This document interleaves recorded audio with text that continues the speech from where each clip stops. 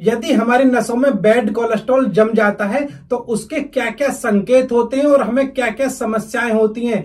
इसके संबंध में मैं पहले वीडियो बना चुका हूँ। आप उस वीडियो को काफ़ी ज़्यादा पसंद भी कर रहे हैं और उसमें बहुत से लोगों के कमेंट हैं कि डॉक्टर साहब, इसका हम क्या ट्रीटमेंट कर सकते हैं? इसी के संबंध में मैं इस वाली वीडियो को लेकर आया हूँ। यदि आपकी नसों में बैड कोलेस्ट्रॉल जम चुका है तो इस वीडियो में बताए गए दस ऐसे तरीके हैं। यदि आप उनका रेगुलरली इस्तेमाल करेंगे तो आपकी नसों में जो बैड कोलेस्ट्रॉल जमा है, वो बहुत जल्दी कम होता है। तो इसलिए वीडियो को आपको बिल्कुल भी स्किप नहीं करना है और अंत तक ज़रूर देखना है। यदि जानकारी अच्छी लगे तो इसे उन लोगों के पास ज़रूर भेजना, जिनका ब्लड कोलेस्ट्रॉल की समस्या है या उनका ब्लड कोलेस्ट्रॉल बढ़ा हुआ है।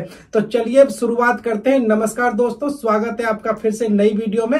और आज हम बात करने वाले हैं, यदि ब्लड कोलेस्ट्रॉल आपका बढ़ा हुआ है तो घरेलू रूप से उसका क्या क्या इलाज आप कर सकते हैं। सबसे पहला जो तरीका है वो है हल्दी।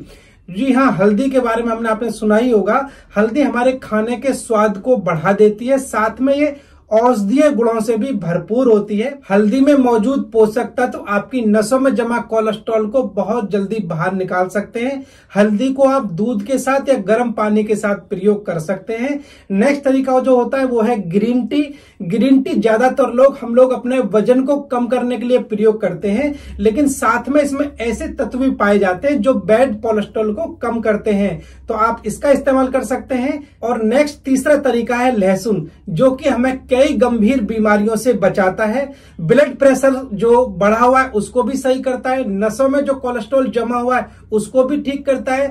ब्लड सर्कुलेशन को बेहतर करता है। यदि आप इसको रेगुलरली इस्तेमाल करेंगे तो ये बैड कोलेस्ट्रॉल को कम करता है और गुड कोलेस्ट्रॉल को बढ़ाता है। नेक्स्ट इंपॉर्टेंट है, अलसी के बीज। अलसी में लिनोनिक एसिड और ओमेगा थ्री फैटी एसिड होता है। साथ में अन्य पोषक तत्व भी होते हैं, जो कि एलडीएल मतलब बैड कोलेस्ट्रॉल को कम करता है। आप अलसी का सेवन पाउडर के रूप में या बीज के रूप में पानी या दूध के साथ इस्तेमाल कर सकते हैं। ये बहुत अच्छा विकल्प है आप लोगों के लिए।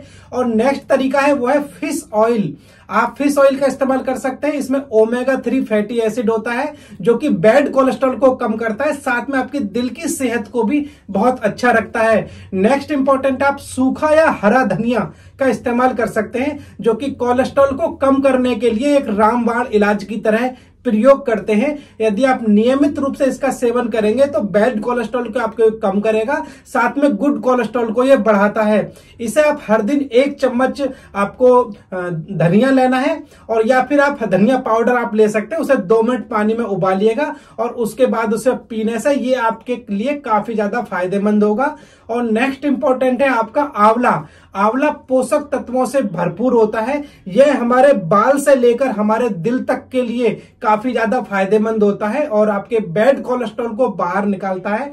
आप इसमें एक चम्मच आंवला पाउडर गुनगुने पानी के साथ इस्तेमाल करेंगे तो ये काफ़ी ज़्यादा फ़ायदेमंद होगा। और नेक्स्ट इंपॉर्टेंट जो आठवां तरीका है, वो है सेब का सिरका। आप कोलेस्ट्रॉल संबंधित बीमारियों के लिए सेब का सिरका काफ़ी ज़्यादा फ़ायदेमंद होता है। आप सेब के सिरके को पानी के साथ इस्तेमाल करिएगा डेफिनेटली आपको काफ़ी ज़्यादा फ़ायदा करेगा।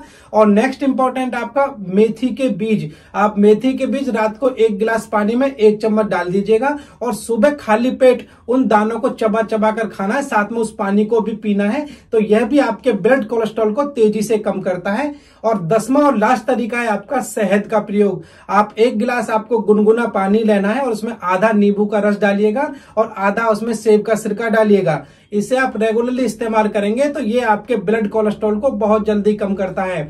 कोई भी देसी नुस्खा आयुर्वेदिक नुस्खा है, किसी भी दवाई का इस्तेमाल करने से पहले आपको अपने नजदीकी डॉक्टर से भी ज़रूर संपर्क करना चाहिए। इस तरह से इन जो तरीके मैंने आपको बताए हैं, यदि आप इनको रेगुलरली इस्तेमाल करेंगे तो ये आपके ब्लड कोलेस्ट्रॉल को बहुत जल्दी कम करते हैं। तो आशा करता हूँ वीडियो आपको अच्छी लगी होगी, जानकारी अच्छी लगी हो, और आप मेरे चैनल पर पहली बार आए तो प्लीज़ चैनल को सब्सक्राइब भी कर लीजिएगा। नसों में बैड कोलेस्ट्रॉल यदि जम जाता है तो हमें क्या क्या समस्याएँ होती हैं, उसके संबंध में आप ऊपर वाली वीडियो देखिएगा।